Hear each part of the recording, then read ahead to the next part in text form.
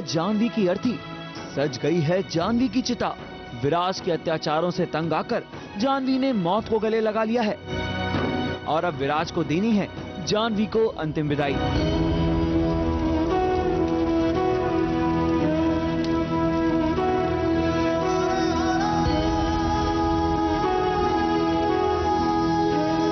मैं बहुत ही, मैं बहुत ही उदास हूँ।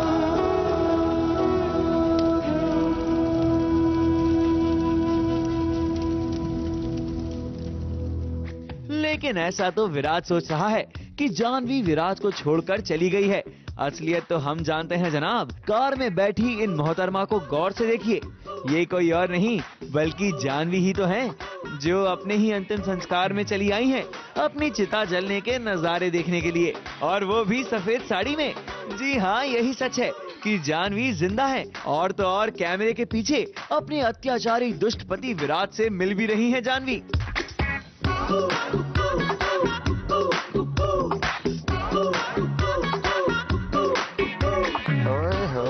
कितनी सुंदर लग रही है हमारी जानवी विराज के सारे पैसे लेकर भाग है इतना मज़ा आ रहा है श्रुति को शूटिंग करने में क्योंकि ये बेचारे धूप में शूटिंग कर रहे हैं मैं गाड़ी में एसी ऑन करके बैठी भले ही जानवी भगवान को प्यारी ना हुई हो लेकिन उन्होंने पूरी तैयारी कर रखी है भूत बनकर विराज को डराने की। खुद डर गई। हा- भूत की हालत खराब हो गई। लगी ये लग रहा भूत। हाँ हाँ।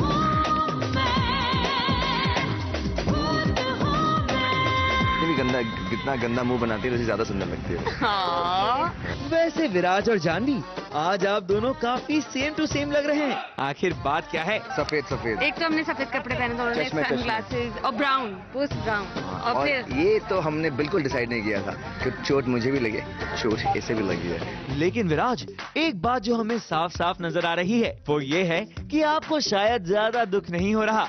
जानवी के यूँ चले जाने का। तभी तो इतने बन ठन कर सन ग्लासेस लगाकर बाल बनाकर गाड़ी में बैठ कर आए हैं आप अपनी बीवी के अंतिम संस्कार में। क्यों? सही कहा ना हमने। मैं चलेगी ना? मैं चलेगी ना? खुला छोड़ दिया इसको। अरे मेरी तो हालत खराब हो गई मैं सारा ब्लेम उसको मौलिका को हाँ दे अच्छे कपड़े पहन के चश्मा बन के आ गया है। बाल वाल भी बना लिया अच्छा लग रहा है जितना। हूँ You're looking the handsomest on my death. Obviously, he looks nice all the time, but he's looking the nicest when I'm dead. Now you have to look for a new wife, no? So now you'll start dressing up. चलिए अब जब Virat single और ready to mingle हैं, तो उन्होंने बिल्कुल देर ना करते हुए अपने लिए नया लाइफ पार्टनर भी ढूंढ लिया है जी हाँ लगता है कि कमौलिका पर है विराज की नज़र तभी तो देखिए कैसे कोने में खड़े गुफ्तगू कर रहे हैं दोनों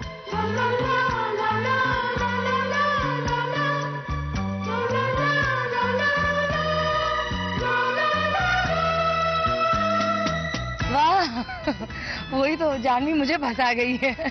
उसको बचाते बचाते मैं फंस गई हूँ। एक साइकोटिक एक साइकाइट्रिस्ट जोड़ी तो अच्छी बनेगी लेकिन अब देखना पड़ेगा कि कौन साइकाइट्रिस्ट बाद में बनता है और कौन साइकोटिक बन जाता है। मुझे लगता है रोल रिवर्सल ना हो जाए कहीं। ये कुछ भी हो सकता है। ये विराज मतलब किसी को नहीं छोड़ सकता है।